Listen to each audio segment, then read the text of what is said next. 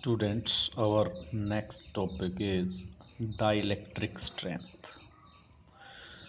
Dielectric strength is the maximum electric field that a dielectric medium can withstand without breaking down of its insulating property.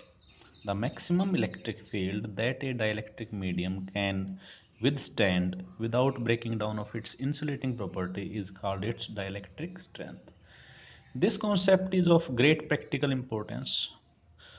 From V is equal to Q upon C for a capacitor, we know that Q is equal to CV.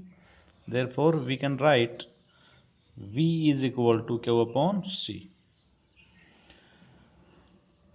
From V is equal to Q upon C, we find that a capacitor can hold large amount of charge at a small potential V only when its capacity C is large.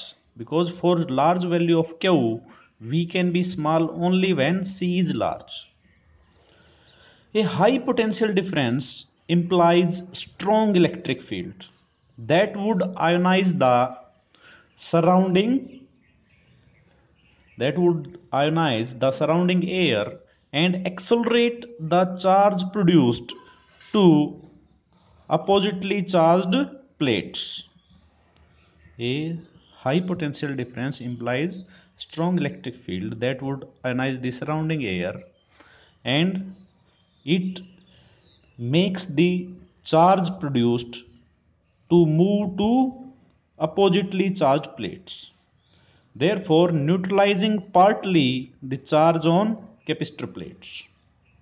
It means charge on the capacitor plates would leak away due to reduction in insulating power of insulating medium. Hence, for a capacitor to store large amount of charge, its capacitance should be large enough so that potential difference and hence the electric field do not exceed the breakdown limits. For the safety reason, maximum electric field actually applied is only 10% of its dielectric strength. For the safety reason, maximum electric field actually applied is only 10% of dielectric strength of the insulating material.